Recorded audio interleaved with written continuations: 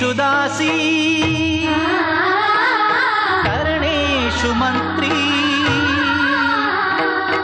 భోజేషు మాతా. చయనేషు రంభ.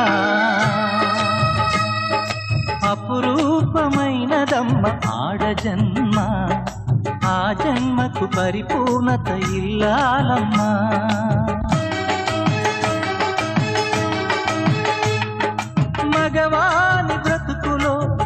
పాలు తనదిగా జీవితం అంకితం చేయగా.